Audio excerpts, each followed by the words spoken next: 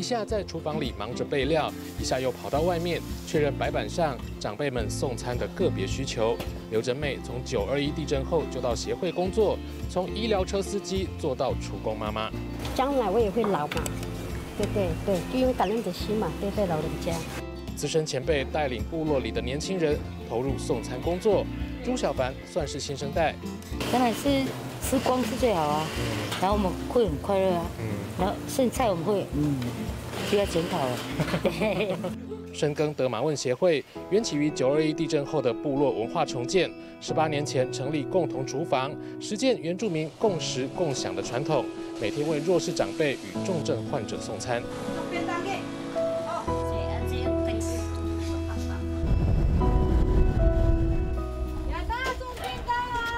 不止送便当，也顺便关心老人家的状况，有时还要充当维修工人。我那个闸门帮我弄一下，闸门怎么了？哎，硬帮我弄一下，看能不能比较软能开。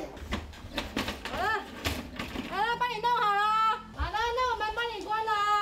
好，先走了，好，拜拜，拜拜。我们在送餐，呃，过年的时候我们都会一群妈妈就去帮他打扫。曾经是一个个案老人，就是呃没有家人。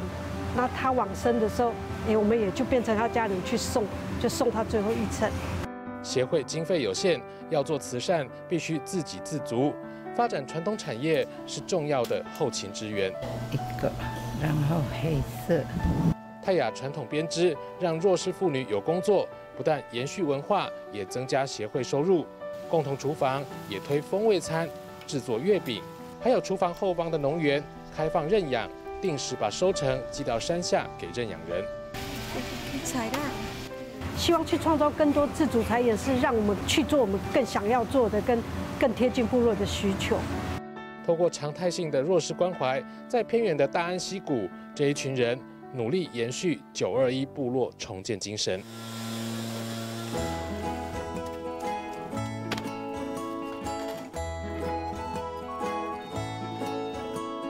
啊，咱补的大路每一年拢拢算上千以上的这个坑坑洞洞就对了吼。所以咱二十一年来啊，补过已经数万的坑洞安尼啦。竹山行善会走遍中部地区义务补路，一包沥青重四十公斤，平均年龄七十多岁的志工习以为常。志工何威志今年八十岁，参与补路工作一做超过二十年。你下班人来做做安尼，摕三百块。伫咧门口啊，啊唔家己扛摕钱拼咧，啊做一转咧门锁入内面。竹山行善会补路缘起比九二一地震更早，曾国印是墓地风水师，九二一地震前还没有行善会就投入补路工作。看人骑机车摔落吼，啊咱用有在调过，咱落来找点啊家吼来甲补起，又袂过有人摔落安尼啦。九二一吼大地震，咱规个德山镇吼，规个所有的大路吼，有诶破起来，有落落吼，关节杆啊，差拢超规尺长诶安尼吼。所以我开始来成立这个德山行善会吼，啊开始来补咧这个大路，这个坑坑洞洞安尼。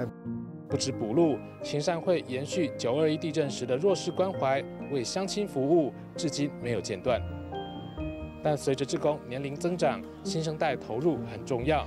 区会长曾国印的儿子这几年也跟着爸爸来补路。大较袂危险啦，啊，我就是帮爸爸到到来出来了。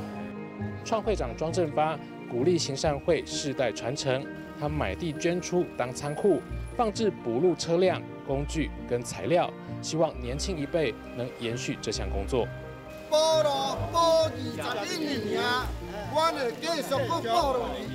这一群补路志工为维护众人交通安全，留下动人的菩萨身影。